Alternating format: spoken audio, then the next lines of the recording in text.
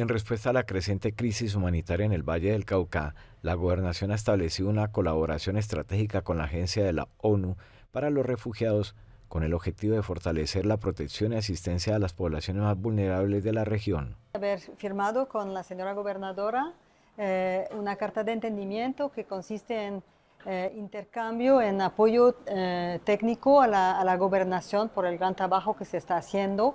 para víctimas del conflicto, para el tema de desplazamiento y soluciones al desplazamiento y también integración local y temas de eh, refugiados y migrantes. Podamos contar con el apoyo técnico, con la, con la capacitación que ellos nos pueden dar a nuestros funcionarios, no solamente a la gobernación, sino a los municipios, para que podamos nosotros proteger, pero no solamente proteger, sino también promover y, y, y prevenir todos los problemas que tengamos con derechos humanos. Durante la reunión, el gobierno departamental solicitó apoyo específico para atender situaciones críticas en municipios como Buenaventura, Cerrito y Jamundí, donde la migración, el conflicto y los derechos humanos requieren atención prioritaria.